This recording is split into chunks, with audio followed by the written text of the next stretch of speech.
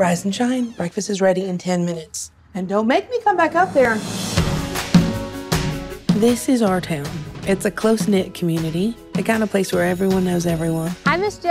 Hey, how are you girls? And we're always there for each other. Nice sermon, Pastor. What do you guys have on for the rest of the day? Well, John has a basketball game. Yeah, I've seen this guy hoop it up around here. This kid is so lit.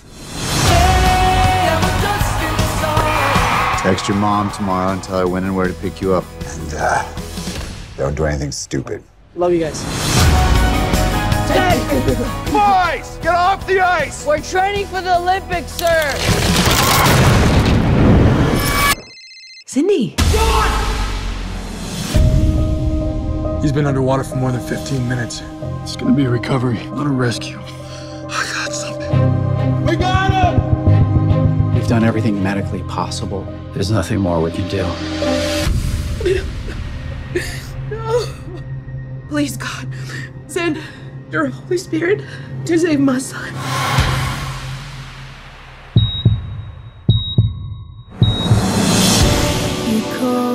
A 14 year old St. Charles boy who spent 15 minutes trapped underwater is continuing to fight for his life.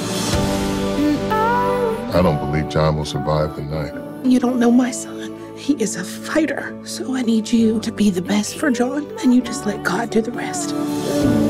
You are my pride and joy. I can't wait to see you shoot those baskets and run up and down the court again. The Smith family asked for one thing. Please pray for John.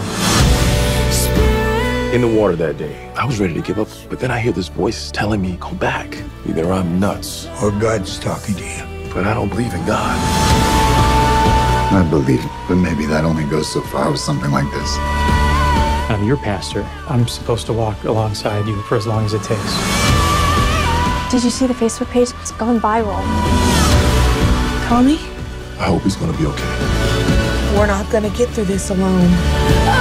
Whatever you have for me, for Brian, for John,